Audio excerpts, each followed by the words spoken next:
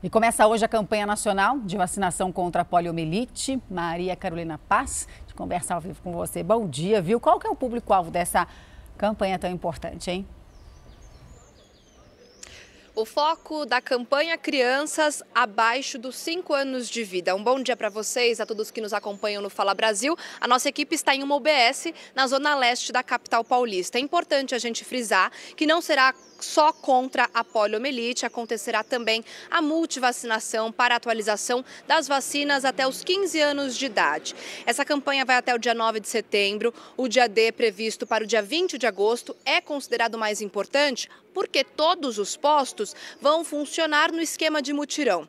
A poliomielite é é contagiosa, causa paralisia irreversível e é uma doença fatal. Essa nova campanha busca alcançar ao menos 95% das crianças entre 1 e 4 anos de vida. Roberta, Sérgio.